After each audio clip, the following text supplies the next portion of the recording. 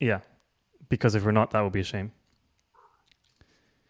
Oh. And we are. Okay, I'm gonna tweet that we're live. Perfect. That's so awkward, Max. It's such an awkward pause that you're doing this right now. I know that's the problem every time. Every time I start one of these Oh, streams, I have to like bridge the gap. It's really awkward, but Oh, That's what it is. I'm watching us live on Twitter right now. That's very weird. Okay. I'm backwards. so Emma, welcome to the show. How are you doing? How's your day been? I'm fantastic. How are you? My day's been great. How was your day? Uh, my day's just got much better. I have to say. Um, I'm really looking forward to this interview. Actually, Yeah, me too. Thanks for having me. yeah, of course, of course. Uh, why don't we start with? Why don't you tell everybody who you are for those of the like the two people that are aren't aware yet? Um, who are you? What do you do? Where do you live? Um, What's your social security number? What's Um, that too? If you want to get hacked, everybody already Uh, knows that after Equifax, right? After the hack. I feel like I should give you some fun knows that. facts that people don't know. Oh, that would be Um, amazing. Give us some okay, fun cool. facts. But then you have to reciprocate. So, okay, so Oh, hey, I'm Emma. I um, troll the internet on a daily basis. I am an American software engineer living in Germany. I talk really fast. Um, so please just like yell at me if you need me to slow down. I currently work at Logmein as a software engineer. Before that, I was at IBM. And I will be moving to Stockholm, hopefully in July, if things permit, um, to work as a software engineer at Spotify. Did I say Spotify already or Stockholm? I They're think you said Stockholm, but congratulations okay, anyway. cool. Thank you, thank you. So uh, let's see. Fun fact. Um, I don't know if this is a fun fact, but literally everything I own is covered in cat hair. Um, Classic cat lady life. uh, yeah, for sure. Uh, I don't know. Do I have any other weird things? Uh, no. I, uh, yeah, I mean they'll probably come out in the course of this conversation, but I want to hear a fun fact about you. Uh, well, fun fact about me. I once accidentally set my parents' toilet on fire. That's a fun fact about me that not everybody knows. But I don't think you should explain why. I think you should make people work for it. Yeah, I no, know I'm why. definitely not going to explain why. I did not ever set anything on fire, but I did put out fires because I was in the fire department. So that's my fun fact. I would have arrested Max as a civil arrest. Is that a thing? Probably. Citizen, citizens arrest. so I guess actually that's a good starting point. What did, where where did you start? What is sort of the beginning of Emma Bostian? so I was born in 1993.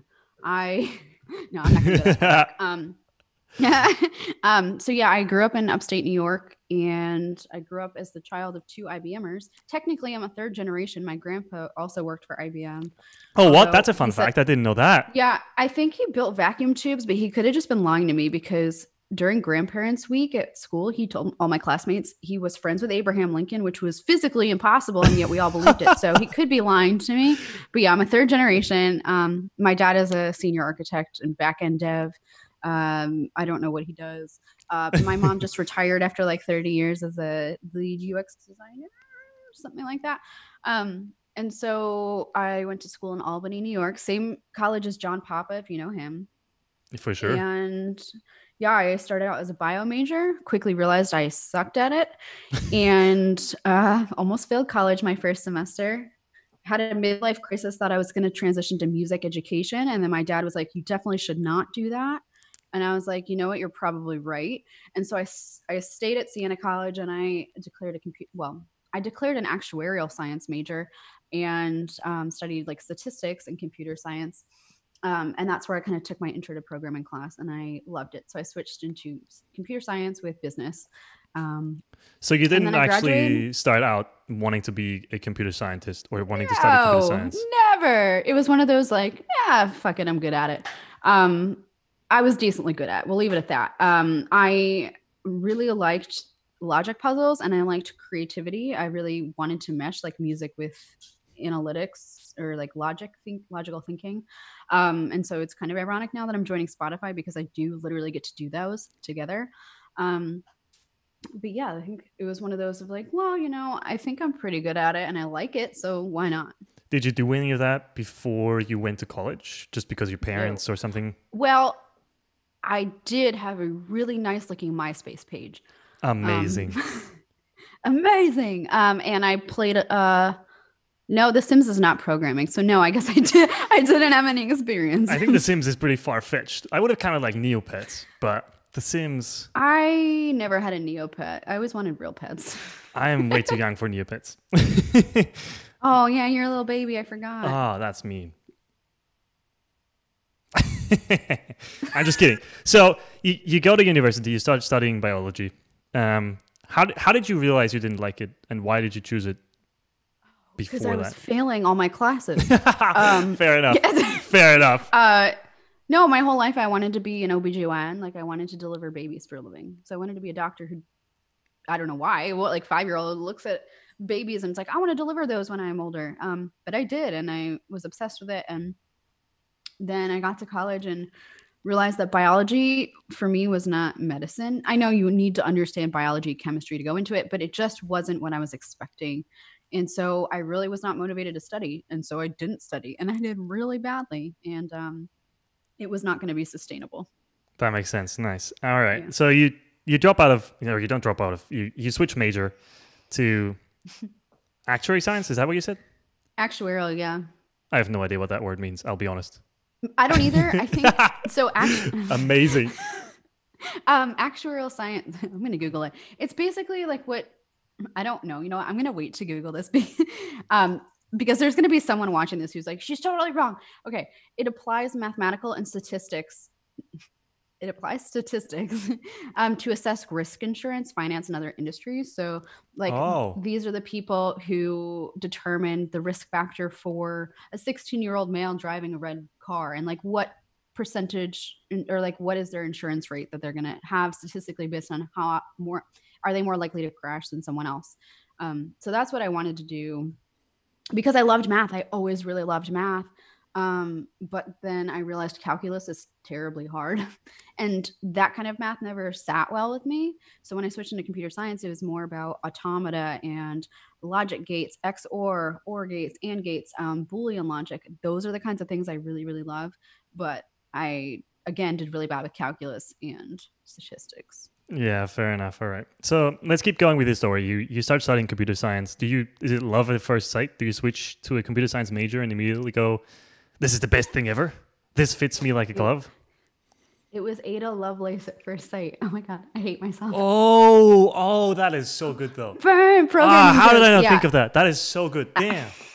we can't all be nice or Yeah. we can't all be cool like me um so yeah i loved it i remember there was a day where we learned binary we learned hexadecimal and we learned octal and how to kind of like not compile but to translate between all three of them and that was the day i was like oh i love this like learning how what is a base 10 decimal system what does that even mean um and we got to do really cool things like we created um i think it was 64-bit memory out of a breadboard and um different chips and wires and stuff. That was really, really cool. But my hands hurt like hell by the end of it. um, because I programmed the whole thing and then by the end realized my circuit board wasn't working. So I had to like take everything off and redo it. Um, so yeah, it was definitely something that like from day one I definitely loved. Nice. All right. So you're in, in college. You eventually graduate. What what happens next? How does the story continue? Um, so my junior year, I was studying abroad in London for three months, and I got a message from my dad's friend who was a hiring manager at IBM, and he said, "Hey, do you want to apply for this internship? I have openings." So I applied and I interviewed and I got accepted. And so that summer, the summer after my junior year, okay, it was between my my third and fourth years of my bachelor's degree, I went to Poughkeepsie to IBM Poughkeepsie and I did an internship in WebSphere automation. Um, so I automated the installation of z/OS, no, automated the installation of WebSphere application server on z/OS using Python. It's a lot. I had to memorize that for my resume. Um, and so yeah, it was all it was in test automation. It was using Python, and it was during that internship where my dad's old manager who was his manager for years. Um, she went to go visit him and she said, Hey, like, how's your daughter doing? And he goes, Well, she's sitting downstairs. Why don't you go talk to her? So she came down and talked to me. and was like, Would you be interested in moving to Austin, Texas? I'm like, Yeah, sure. Why not? Like, never planned to move to Texas, uh, but why not? And I interviewed for a role and I got hired full time for when I got graduated. So it was it was a pretty seamless transition between like college and and the real world. Nice. Did you keep working on uh, WebSphere, z/OS, no. Python things? No, no. I joined um, the um, Spectrum Control team, so it was uh, enterprise storage software, and I worked on the on-prem and cloud offerings. So I did a lot of chart works using Dojo. Uh, not my favorite work. Um, I did actually learn a lot about accessibility at that time. So my main role was to work on web accessibility for the two products. Um, but nice. it just wasn't something that was my passion. And so I remember talking to my manager. She could tell I wasn't really interested in it. And she said, if you want to look around internally for a new role, like I support you. And so a year after I joined that team, I got a message from a VP of systems and transformation, which is the business group, one of the business groups. And he said, Hey, I'm looking for an engineer to sit on my design team. Uh, would you be interested? And so I was like, Heck yeah, absolutely. I want to learn more about design. And so a year after I started at IBM full time, I moved onto that team and I got the coolest projects. So I worked on Linux on Power Developer Portal. So I got to work with WordPress and PHP. I worked on a Salesforce solution for IBM support. But then my last project was working at IBM Quantum. So if you Google the IBM Q Network site, I built that from start to finish using Vue, Vue.js. And I'd never used Vue. So it was kind of like a challenge, I guess. But that, like getting to work on the quantum computing site uh, the team and like go to Armonk, New York and like see like these quantum computers was so cool. Okay, I have a quick question here. Um, Vue versus React. What is your view on that?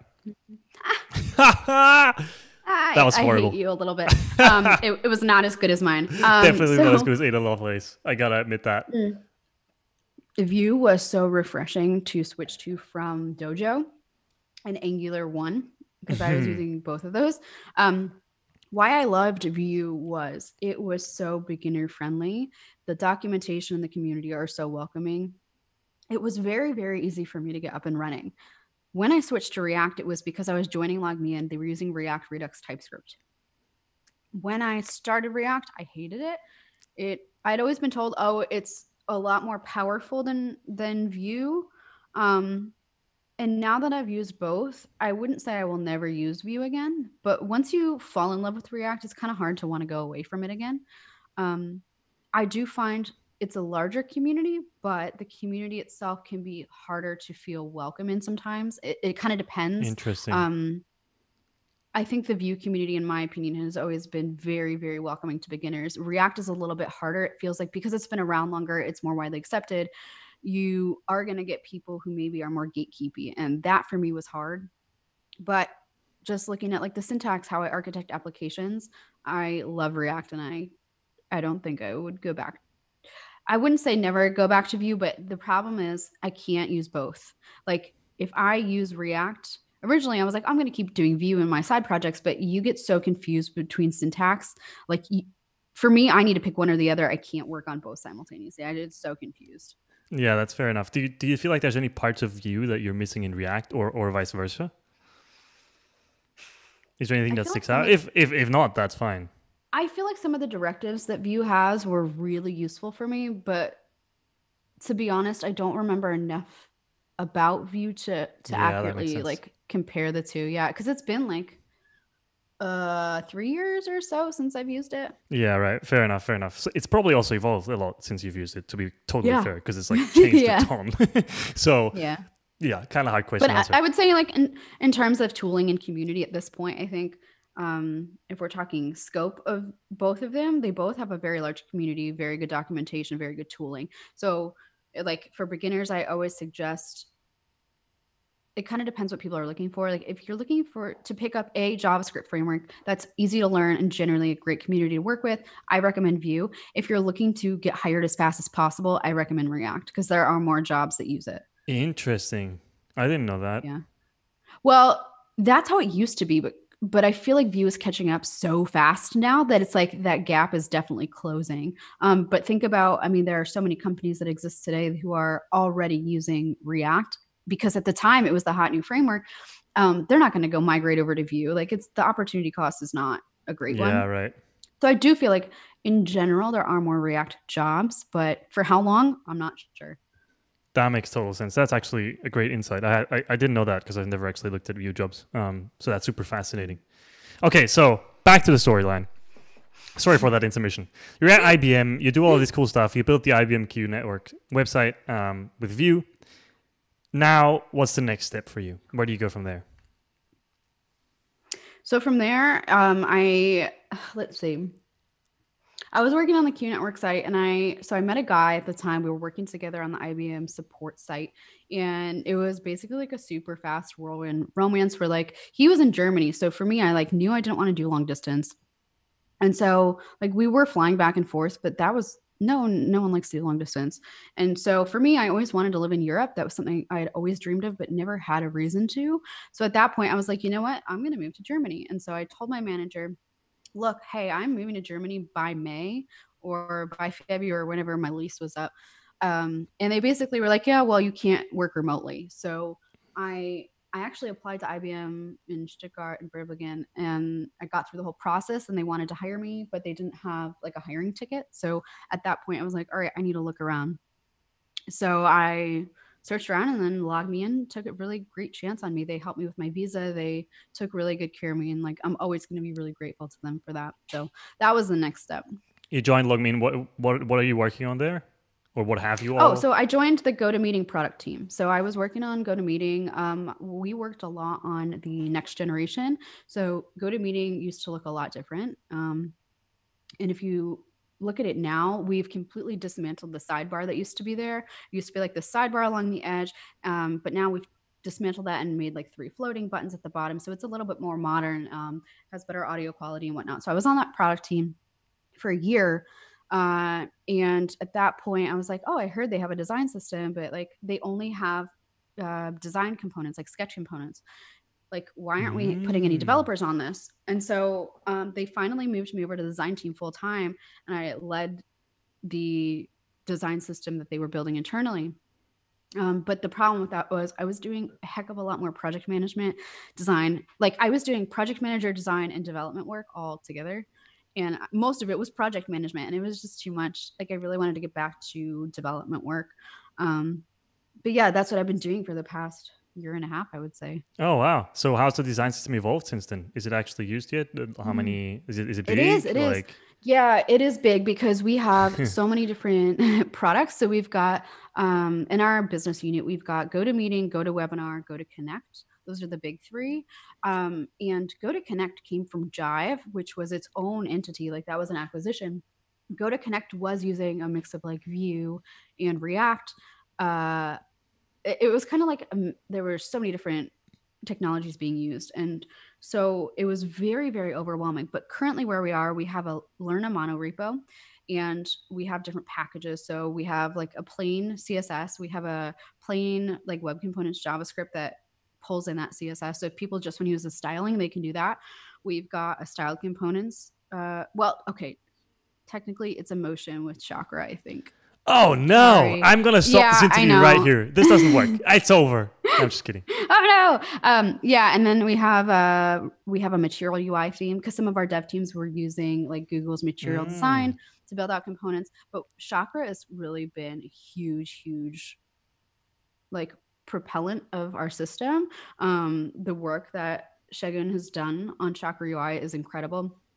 Um, so yeah, we've got a bunch of different packages uh, with many different code bases so it's it's a lot but, but, it's good it's good now we've got it integrated to all these different products and when i started there was no code at all so yeah that's awesome i i, I was just thinking like the, the way you've basically met the developers where they're at right by supporting yeah. all these different versions is really important because i think a lot of times you have to design exactly I, I think a lot of times design systems end up being like this promised land, right? Like, oh, this is the tech stack that we want to be using in like 10 years across our entire company. Mm. And so people build a design system, but then you never get there. And then nobody uses the design system. Well, right? that, so was, I think this, that was a hard lesson that I had to learn because I originally wanted to do things the right way. I wanted to build one design system that everyone uses and migrates to.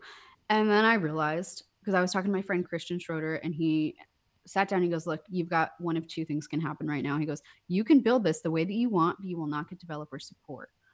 Or you can get all of us to help you, but you have to let us build it our own way and we'll have like like several packages. And for me, what was more important was unifying all these different product teams and getting better developer collaboration than me coming in and building this whole thing in isolation and no one uses it. So it's not ideal, right? Like I wouldn't, you wouldn't normally build a fully fledged design system on top of Google's Material UI because they're opinionated in their styling, right? It's kind of like you're building a design system on top of a design system, like, um, but you got to pick your battles. I guess is the biggest takeaway, and uh, yeah, it's doing well so far. Nice, nice. All right, so you've you've spent one and a half years building this design system, and now you're off to Spotify. Do you know what you're going to be doing there? Is there any plan for that yet? Yeah. Have you been hired for a specific position? Mm-hmm. I'm going to be working on the consumer experience. So basically, anything the consumer touches, product wise, I believe that's what I'm going to be working on. Probably the web stuff, obviously, because I'm not like a native app developer. Um, but like any um, like HTML embeds that people use to embed their players, um, like what we're using, uh, we're rebuilding our podcast site with Squarespace, and there's a Spotify um, embed with Squarespace. Um, so stuff like that, um, you know, the web player and things of that nature. Nice. Uh, what is that podcast you're talking about? I guess we should mention that too for everybody that doesn't know it. Because it's a freaking yeah, fantastic we, uh, podcast. I should. I, oh, I should thank you. Yeah, actually, so it's called the Ladybug Podcast. It's just me and two of my lady friends, and we talk about code and career. We just had Kim Maida on uh, from Gatsby, head of developer community Gatsby, um, which I thought was a really fun episode to learn more about Gatsby, but also to learn more about dev advocacy. So. Yeah, I mean, working with Kim, she's done an amazing job, and that episode really highlighted mm-hmm. All of the careful thought that she puts into into her work, which is just mm-hmm. absolutely incredible. Um, I love Kim, and that was a great episode. Yeah. So yeah, definitely listen to the podcast, uh, Ladybug podcast. We're actually going to link that at the end. Um, so recently, you've sort of made waves by um, publishing an ebook, right? And why don't you tell us how that came about and what the story there is? How did that happen? I feel like making waves is a bad thing. Maybe that's my English. I'm, I, am gonna I'm gonna take my ESL card. This is English as a second language. If it's a bad thing, I didn't mean it in a bad way. Uh, no, you've recently, uh, you know what I mean. I've made waves. Okay, so um, yeah, so I once I landed a job offer from you know a dream company for my dream role, I kind of sat back and I realized like how far I guess I'd come in five years of doing this professionally. And not only that, I had passed my Google technical interviews and gone to the hiring committee and was like waiting to hear back from them about a job offer. Um, and it was kind of at that moment when I realized, holy crap, like I've somehow become quite good at interviewing. But it's a skill that is very difficult. Um, there are a ton of resources, but the biggest problem is that interviews typically test data structures and algorithms knowledge, which is not something that developers learn if they are self taught and or come from a boot camp. It's typically only something you would see in a computer science degree. And as someone who came from a computer science degree and who struggled with those concepts for 5 years afterwards during interviews, I felt like I wanted to give back to people, especially that so it, the catalyst was really I saw how many people were getting laid off during um, the coronavirus situation, and I wanted to help others. And I just word vomited, you know, 207, 217 pages worth of all the skills and knowledge that I thought I had learned from the past five years. And in the hopes that like it would help at least one person get a job or feel better prepared for a job. So that was kind of my justification. Is it fair to say that the book is almost like a computer science education for people who didn't go to university? To the no, sort of not at all. Yeah, but I mean, I wouldn't go that far. Yeah, yeah, but, sure. But like in, in in the sense that it helps you pass the interview the interview stage of it, these big tech companies. Yes, it covers the skills from a computer science degree. Yeah, exactly. You will directly need to apply to a technical interview. But yeah, I wouldn't say it's comparable to like all the skills. Um, but that being said, there were also some gaps in there, right? Like I originally was going to include tries as a, a, data structure in there, which is a really cool tree type of data structure where you can use it for search algorithms. So it's probably how Google stores their search algorithm is in a trie where um, you have different paths you can take for different words. And I originally included that, but I did not code it. And one of the pieces of feedback I got from my friend Allie was like, well, if you're not going to code it, maybe just remove it because it could just be more confusing. But in the next iteration, I'm working with the Egghead.io team to turn this into a better revised book, but also a, a full on, fully fledged video course. Um, I want to cover literally all the things that you would ever encounter uh, in more depth. Because this was really just 30 days of me trying to get out as much as I could, as fast as I could. Nice. So, how, how many people have actually bought and read the book yet? Do you know that? Oh, great question. Um, I, you know what? Let me check. Um, and I'm happy to. I actually posted this in the blog. We should link that blog because I think um, that was really cool. I'm just seeing if I could share my. If I share my screen, will Yeah, everyone that watching works. see this? I'll show you my analytics. Um, Oh, wow. I'm also going to link your blog post, the most recent one, right? yes. To chat. Um, So, if you're watching this, look at chat. I just linked her blog post. Ah, it's on compiled.blog, which, by the way, is a fantastic domain name. Um, thank you. I I love found that. some really fun domain names recently, but I haven't migrated over all of my blog posts yet. Okay, so let me share my screen with you. Oh, you, you disabled attendee screen sharing. Oh, I did. Hold on. I got to fix that. Uh, here we go. N- now you should be able to share your screen. Nice. Okay, so this is my analytics panel, and I did put a screenshot of this in the blog. Basically, I had 3,800 sales. Um, now, this book was only priced at $10 per copy. If you wanted light and dark theme, which I don't know why I decided to do both, that got me w- in way over my head, but um, 17 for both. Um, so it was pretty affordable. And for anyone who lost their job, I gave it to them for free. Like if they lost their job, wow. not I gave it to them for free. If people came from a country where like the conversion rate was um, not in their favor, I gave them a discount or I gave it to them for free. So I did give away a lot. Um, totally fine because I really was not in this for the money. Um, I ended up around forty thousand. Um, and Gumroad took I forget how much of a percentage they took, but I think all in all, I ended up with about thirty-seven thousand. Congratulations. That's huge. Thank you. Yeah, I'm like super excited, and um, their stats are pretty cool. They do mostly, you know, I had most of the sales in the U.S. It shows the majority came from Twitter, um, and things of that nature. I'm not sure what consumption is. I don't know what that means. Um, oh, it shows uh, how many, like, how people a- like access your data or access your files. Um, so yeah, I think it was massive. It was a massive first release. It was massive for a self-published book. Um, but to be fair, a lot of that was attributed to two things. One, there was such a market need for this, but two, I had an absurd amount of followers already, and I had a platform to market it to. So it's it was definitely an outlier situation. Uh, let's actually talk about this. Um, you have 107,000 followers on Twitter the last time I checked, but it might have it might have increased by another couple thousand since yesterday.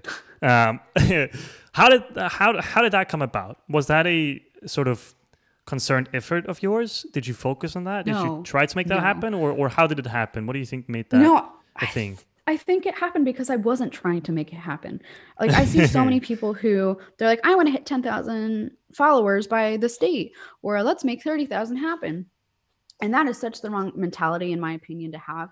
Uh, like, let's take the example of weight loss. Like, let's say I want to lose 10 pounds. Okay, well, when I lose 10 pounds, I'm not going to be happy. Like, if your goal is a finite number, to me, I don't see that as fulfilling once you reach that. Um, what's more fulfilling is having a goal to say i want to be healthier. I want to live a healthier lifestyle. You're not focused on the number. And this goes back to the atomic habits book that i talk about all the time by james clear. Highly recommend it. Talks about are you on the right trajectory?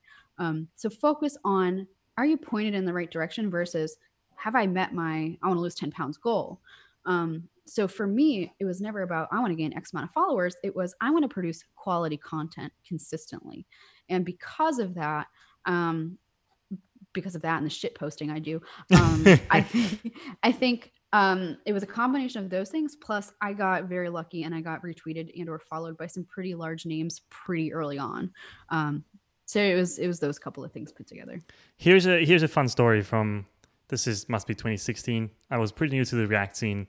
I was working on my own React project, and my friend Nik Graf and I, we sort of played this game that we called "Get the Dan Abramov Retweet," where we essentially tried to figure out when Dan Abramov was working and when he was eating lunch and when he was taking breaks and looking on Twitter, so we could tweet our announcements and our releases so we could get him to retweet it because he had the biggest React audience at the time. Didn't always work, but the thing is, if you have that big audience, once you retweet, if you retweet somebody, if you give them your audience almost, Yeah. it's a really powerful way to um, enable them to to share their projects way more widely, right? If you retweet something, suddenly 100,000 people are going to see it, right? Or close to, which Yeah. is insane, right? Um, so that's very, very powerful and something that I think is definitely worth, I guess. he followed me pretty early on and i think that's what did it is i think i maybe had 800 followers like it was really early uh, and he followed me you know retweeted some of my things same with sarah drasner she also did that um, and those big people doing this definitely propelled things but i did So- not play that is is dan abramov working yeah, I mean, we didn't do that for very long, but we tried. It was kind of fun. Um, but that that actually leads to my next question: How do you produce so much interesting content? How do you make content that um, people find so interesting? What is your what is your sort of? Do you have a process that you follow, or does it just happen randomly based on inspiration? Like, how does that work? uh, i don't post content i think people want to read i post content i need and isn't there Um, Mm. or which are notes for myself because like a lot of times things okay let's be real you're never going to post something original anymore like it's rarely going to happen. But sometimes the way content is uh, created is not what suits your learning style necessarily and so for me i there were a ton of tutorials but maybe some of them just weren't good and so i'd go work through these problems and i would write my process down like i'd write a tutorial for myself not for anyone else for me uh, and so okay, that's not necessarily true all the time, right? Like some of these articles I'll write can be useful for new developers, but I think my whole mission statement has been create content that will prevent other people from having to suffer through the same problems I did. If that makes I sense. love that. I love Yeah. that. Have you Googled something yet and found an old blog post of yours? Has that happened yet? Oh my god, yeah. Okay, not a blog post, but a tweet. And it is how do I undo my last git commit? I need this all the freaking time. And like, I don't know why I don't know how to do that. Git, I suck at Git. I don't know what my issue is, but I have fucked up so many rebases, so many merge conflicts. And it's to the point where like I genuinely don't know how to use Git that well. So anytime I have to undo my last commit, which happens a lot, I like have to go look at my own tweet. that is amazing. That is amazing. By the way, I don't think anybody really knows Git. I think Git is one of those things that some people like you sort of know like the surface and you use like the 1% of it, but then there's like the 99% depth that you really have no clue about. I just don't get it. We gotta put all these on a lost my shirt. pen. Oh. I was just doing badumts and then I lost my pen. um, Huh. Just stop playing around with my pen. There's actually, oh, hold on. I'm actually going to link something else in chat. There's a great blog post by uh, Tom Preston Werner. It's called the Git Parable, I think. Hold on, let, let me Google that Oh to make shit! sure. You used to work for GitHub. I forget. Am I just over here like insulting you by association? No, not at all. I don't understand Git. I don't think most people at GitHub really deeply understand Git, except for the people working on Git. Those are absolutely fantastic. So, Oh, Tom Preston God. Werner, who was one of the co-founders of GitHub, one of the original co-founders, um, he wrote this blog post where he essentially explained Git from first principles. Right? He basically starts off with, if you have no idea what any of this is, why do you need Git, and how, like what is the mental model behind it? I mean, and it's an actually a fantastic blog post that really helps help me understand, I guess the the foundation underneath Git that sort of makes it work, I guess, or the insights that are in it, if that makes any sense. It's fantastic. Yeah. Highly recommend reading it. There's also a front end master's course by it's Bianca or Nina. I can't remember. Uh, front and I can't spell. Masters GitHub. There's a course on Git and GitHub. I'm gonna link that too. and Git it's called Git in depth and it's From- very very technical. So it's by Nina Zacharendo. Oh, crap, I hate when I mispronounce people's names. But anyway, she even talks about like how Git blobs and trees are created, how SHA is SHGs. Do people call them SHAs or is that just me? I have Uh, no like the idea. Like the Yeah, yeah, yeah. I know what you mean, she talks about things. Yeah. there's also oh, there's also ohshitgit.com. Somebody just linked that in the chat. Ohshitgit.com is freaking amazing. It's basically for when you fuck up things with Git and you got to fix them again. Uh, Wait, where's the chat? Am I missing this? I'm such a am I a boomer? No, no, no. The the chat you, you you'd have to watch the stream to see the chat. I am Which is- watching it. Well, then like to look you should see the chat. I'm kidding. I'm kidding. I, yeah, but like you posted three different things. Oh no, you just posted the one. Oh, you're saying it's gonna be on YouTube later. I got you. Yeah, oh my yeah, god, yeah. I'm so old. Uh, no, you're not all. Um, exactly. So, get back on topic. I gotta, I gotta get back on topic here. So, Uh, hold on, where were we? Oh yeah, content. You you you make content that you think you want. Uh, things you Yeah. you you you're sort of figuring out as you go. Um, what are you working on right now? What is the next big thing that you're working on? I guess the ACAD course is that sort of the content that you're creating right now. Um, yeah, we're working on that. Um, but I have I bought another domain because I just can't be stopped. Uh, it's called CSS Destructured. So my next project, I want to do a fully Oh. in-depth CSS course. Um, but I'm gonna be real honest. Like I was super productive for 30 days, and now all I want to do is lay around and eat Pizza Hut and. So like I'm not in a rush to build anything anymore. Yeah. Yeah. That makes sense. I think for many people, productivity, or at least for me, productivity totally comes in waves. There's weeks where I'm super productive and I work like 120 hours. It feels like I just work all day because I'm super inspired and I know how to solve these problems and I just keep working. And then there's weeks where I just don't do anything and I just watch YouTube the entire week because I'm like, uh, Oh no. I can't really work. I feel you. I feel you. Also, I just realized I tried to join the chat because I'm like, I want to engage with the Zoomers, if that's what people are called. Uh, that's my my old last name. I gotta change all this. I don't understand. This is okay. Let's talk about this for a second. People change names for many different reasons, but social media makes it freaking difficult to do so because it persists names even after you've changed them. So, like, there are many. Like, I've updated my LinkedIn name, and yet the URL refuses to let me change it. So it's very confusing. Yeah. Um, Just saying. there's definitely a product out there. Gravatar is a amazing service that lets you Yeah, set one avatar and then it persists across all the pages. I want the same thing, but for my entire profile. I want to update it in one place, I yeah. and then it should update everywhere. Whether that's a name so change, annoying. a bio change, a link change, a location change, whatever it is, I want it to update immediately. So if you're listening to this and you're looking for a side project, that one's maybe a little bit difficult to figure out technically because you're going to have to build a bunch of integrations. But you've got two users right here. I would use it immediately. I would I would pay for this service. yeah, yeah, I would probably pay for it too, to be honest. Should we do this? Should this be our next project? Yeah, you know what? We could turn this into a coding stream. No, no, no, no, no, no. Yeah, I've had I'm too done much for the day. I only work if I drink wine. Uh, that's not true. Just kidding. Anyway, All right, so you're working on CSS Compiled, which is a book about CSS, I'm assuming. I don't know if I want to make it a book or a video course. I Or yeah, fair yet. enough. Fair enough. Yeah. How yeah, do you But I feel like go on? how do I No. what? How, how, how do you how, how do you feel about video courses compared to books or or written? I guess um, visual versus written.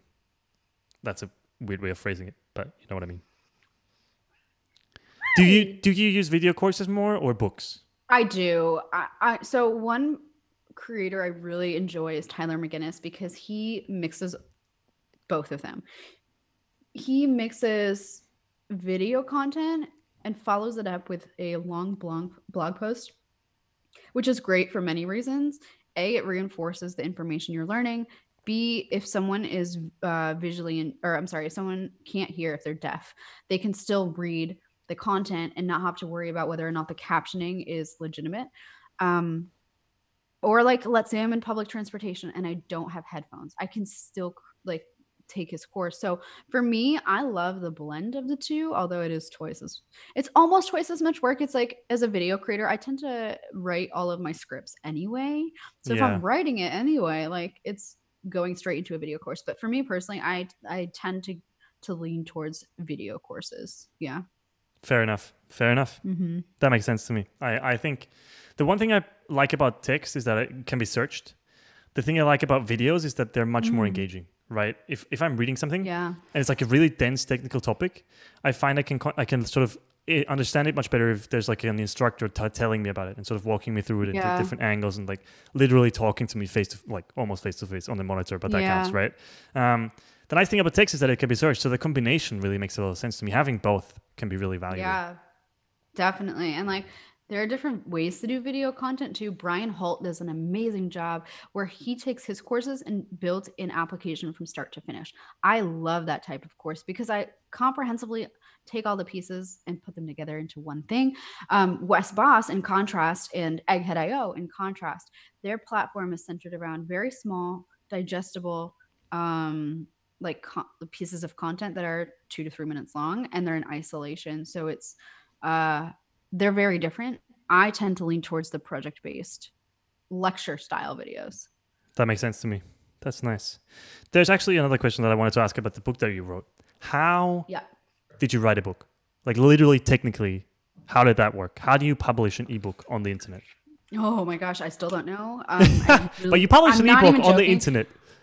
I winged this, let me tell you. Okay, so which was really, really ballsy, and I don't recommend it. Um, the biggest problem I found was like I couldn't find a ton of resources on how to publish an ebook, but I want to take this moment to shout out and plug uh, Stephanie. I just retweeted her tweet. Morillo, I She- think. Right? Yes, she just today published a book called The Developer's Guide to Book Publishing. I wish I had had this because I think it would have really helped me. Um, so go check out Stephanie's book, The Developer's Guide to Book Publishing. Um, I think it's 20 bucks, but it's it's worth it and she's great. So go support her. Um, what I did is I opened a Google Doc and I vomited out all of my headings, um, like all the things I wanted to discuss, and I filled in the content from there. Once I had the headings and the content, I migrated it into the Mac Pages application. I had tried a lot of different online tools. Originally, I was like, I'm going to use Sketch. And then I quickly realized like Sketch is a horrible, horrible way to make an ebook. Please do not ever do it. I know Ali Spittel made her first ebook in Sketch, and we both like commiserate over how horrible that was. Um, because Sketch is a design mockup tool, it's not meant for changing uh, text. But um, so I tried a bunch of online tools and I hated all of them.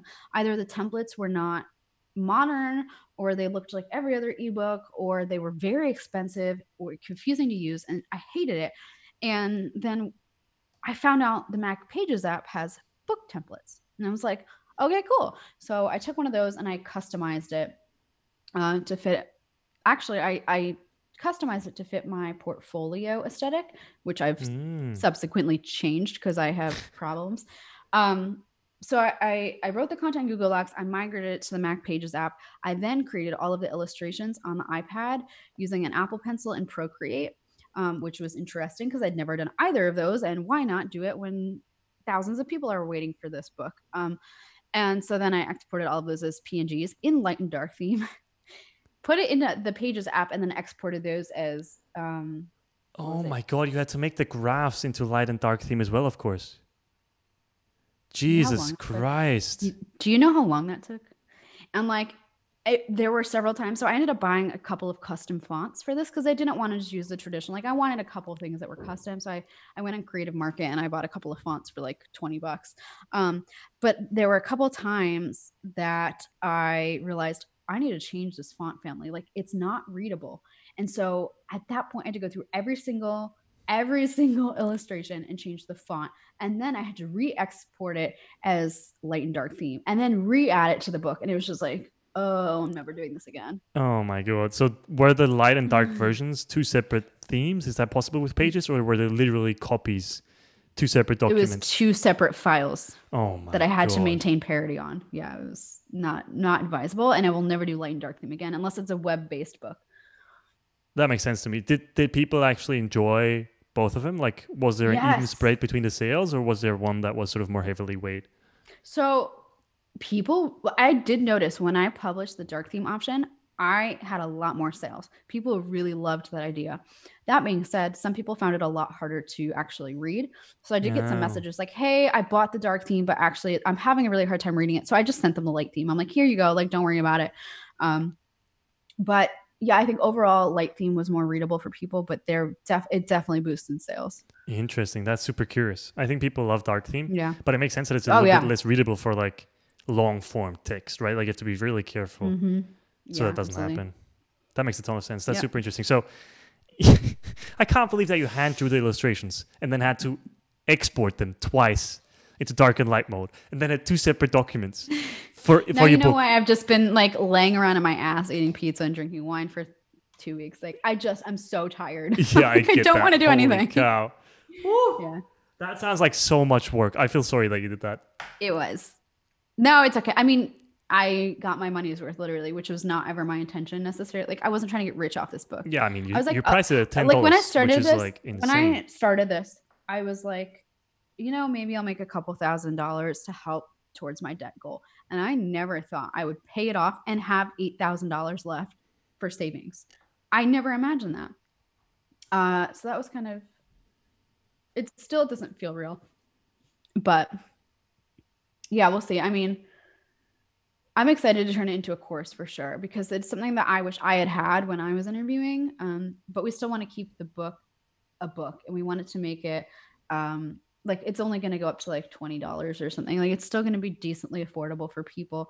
And one of the things I'm definitely passionate about is like if you got laid off and you need to prepare for a job all of a sudden, like I want to give that to you as a gift. Like I I understand that and I that's something I really am firm in. And so I want to maintain that. That's absolutely fantastic. And I'm really congratulations on paying off your debt. That that's huge. Thank you. Yeah, um, I mean, a lot of Europeans don't understand it because in yeah. Europe you don't accrue debt. In the U.S., basically, you need to have debt. Okay, that's not true. You technically you need to have debt to be able to buy a house someday and get a mortgage, or to buy a car and have payments. Like you need to have a credit score. Um, and when I got really sick, like my first few months out of school, I was I had started IBM um, I made the very, at the time, very stupid decision to get an HSA, a health savings account, which, if you know anything about health insurance, I paid a very, very low premium. So every month I wasn't paying very much, but I had a health savings account. So I had to put my own money into this account to use for health expenses. Well, guess what? When you get sick straight out of college and you have no money in your savings account and you have to go to the hospital and have surgery, emergency surgery, um, and it's out of network, and you end up with twelve to fifteen thousand dollars in medical debt and have no money to pay it, I mean, I was making $75,000 a year and I couldn't pay it. I, I mean, it got to the point where like the creditors were like, look, we're going to like, we're really, we need our money. And at that point I was like, I put it on my credit cards. I'm like, well, I'll just pay it on here and I can pay it off leisurely because I don't want creditors coming to me like all the time. Uh, and at 21 years old, that is not fun.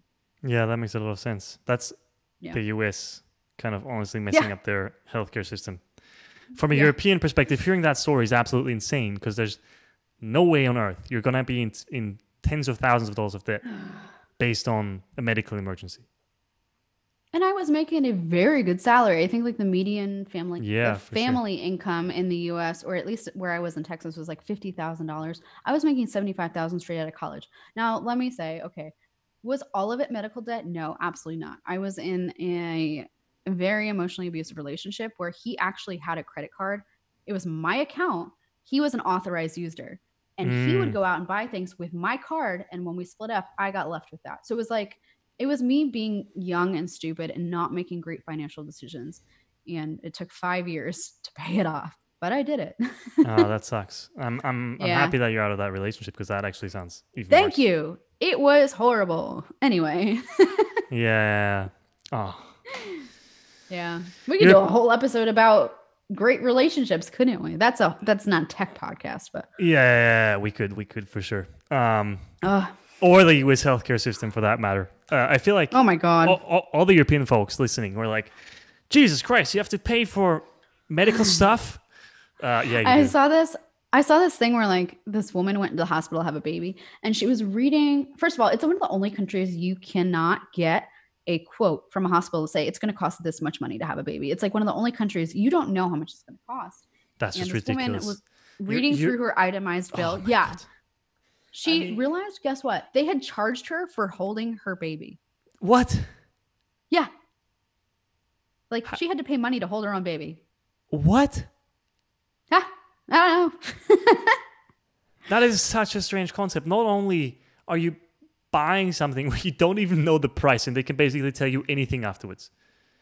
But you're also paying for the ridiculousness of holding your own baby. How does that make any sense at all? It's such a no, it's a huge scam. I I like don't know enough about the politics to even offer a solution at this point, but I will say I had surgery in Germany like right after I moved here and I was in the hospital for 4 days and I paid 40 euro.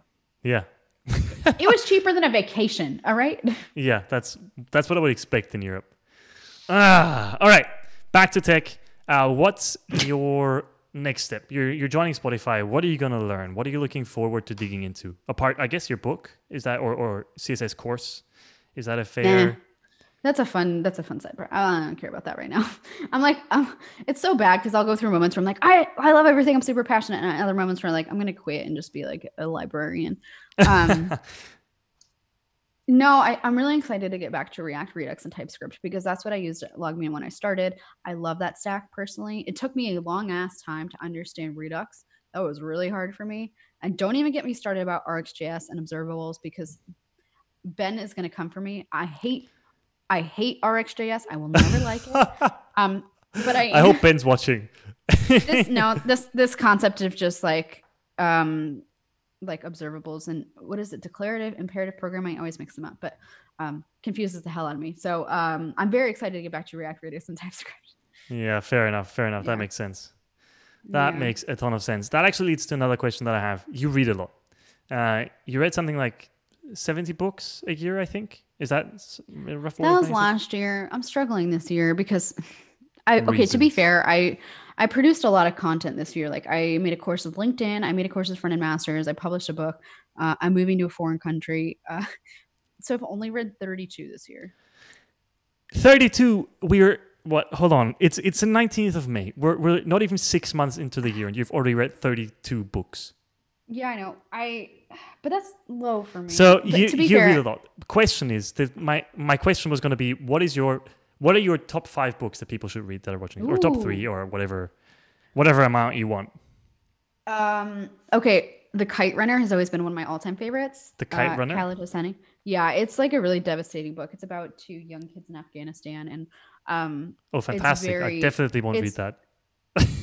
I'm just kidding. I'm just kidding. I did not hear what you said because Siri apparently like picks up on everything I'm saying and it like cuts out your audio. But in any case, I'm assuming it was a really mean joke. So I'm gonna just yeah, just go. um, so I loved that one my whole life. Um, I I really like Brandon Sanderson a lot. He's very very talented when it comes to large fantasy books, but also his science fiction books have been really good so far too. Um, so anything by him. I really like Atomic Habits. I talk about it all the time. I love that book so much. The Power of Habit is really, really good as well. Um, I'm just looking. I sold a lot of books when I moved here from Texas.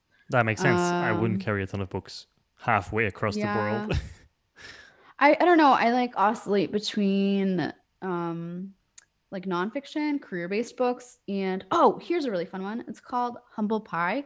It is a book about it's a comedy about funny math errors that were made in the history like history um and like uh, i'm trying to think of an example. So we talked about one of this on the podcast but there was i think it was for pepsi. They ran an ad saying like oh if you get x amount of points we'll give you this really expensive military grade jet airliner. Because if you would buy like a pack of their soda, like you would get so many points. And they were like, they picked a, a, really big number and it was like a few million or a few billion they didn't think about it. Well, some guy sat down and did the math and he was like, Look, I can buy so much soda. This is actually achievable. And he did it. And he spent thousands of dollars buying the soda. But mm, like he ended up getting this like military grade jet. Like they went to court for this because the people at Pepsi didn't sit down and do the math to say how much money would it actually take to accrue this amount of points. They just picked an arbitrarily large number. So it's just a book about like uh, math errors that were made in the history of the world that are just really funny, and I really that is that hilarious. Here's a fun fact that I think is true. Pepsi has one of the biggest militaries in the world. I think, if I remember what? correctly. Yeah, because the reason is that uh, the Russian, um, the country of Russia, uh, back in the you know, like old olden days, loved Coke like as a as a drink but they didn't want to buy Coca Cola. So they bought a ton of Pepsi, but they bought so much Pepsi and imported so much of it that they couldn't pay for it. And also, Pepsi didn't really want their money because at the time it was like a closed off country and you couldn't really do anything with their basically paper play, play money, monopoly money. And so they paid Pepsi in military equipment. They would give them like fighter jets and tanks and all kind of random stuff like that to pay for the coke that they were importing. Oh and so gosh. Pepsi actually used to have. I hope I'm right on this. If not, somebody's probably going to call me out on chat. I'm actually going to Google this. uh, Pepsi actually used to have at, at, at one point in time one of the biggest militaries, the sixth largest military in the world. That's the most ridiculous thing I've ever heard. Which is absolutely insane. Like, how is that we even? Were watching, we were watching Parks and Recreation yesterday, and there's an episode where they like recreate the Model UN. And I don't know if you've seen Parks and Rec, but if you have, you know, Andy is kind of like the idiot of the group. He's super funny. And I think he was Kenya, maybe that was his country. I don't remember, but in any case, he traded all of his country's military for every other country's lions. And by the end of it, he just had like a military of lions. He had no like actual artillery military. he was like, he was like, I'm totally winning this like United Nations game because I have the world's lions. It's like the shit that people trade for things. I so ridiculous. Yeah, yeah, yeah. All right, one last question, and then I'll let you go on with your evening. What are you reading right now? Uh, great question. Or what's the So- last thing you read if you're not reading anything right now? Well, I read like five books. books at a time. So um, I am listen- I just finished the audiobook for Launch by Jeff Walker about how to launch any product successfully. That was very useful. Um, I'm currently still reading The Stand by Stephen King because I wanted to read a book by him, and this is supposedly the best one. It's 1,400 pages, and I hate it. So, but I've already committed. I'm like more than halfway through, and at this point, I have to finish it. Um, and then I'm reading Make It Stick for our book club, but again, really, really struggling to get through that. All right. Uh, thanks for coming onto the show. I think we're gonna leave it off here. I'm gonna end the stream. Thanks for tuning in, everybody. If uh, people want to follow you, if they want to check you out, where should they go? Uh, Twitter. I'm like super active over there. All right, I'm gonna link your Twitter in chat. Um, is there any last words? Any last thing you want to say? I feel like we could just do a whole live stream about random shit. It doesn't have to be tech related, but that's Definitely. the only thing I have to say. Oh, actually, somebody asked which book club do you belong to?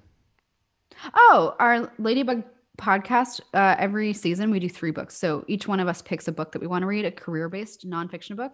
I picked Outliers by Malcolm Gladwell. ali picked Make It Stick, uh, and then Kelly picked Why We Sleep, which was incredible and highly recommend it. Nice. That's great. Yeah. Can people join into that book club? Yeah, we have a Goodreads group and we try to have discussions over there and we'll take the discussions or like the comments that people post in there and we'll like read them out during our, our episodes. I am totally also linking the Ladybug podcast. Uh, if you want to join the book club or if you want to li- listen to an excellent podcast, go check that out. Thanks for tuning in, everybody. Thanks for coming on the show, Emma. Thank this was really you. fun. Thanks for having me. Have a great fun. evening or day, everybody. Bye. Bye.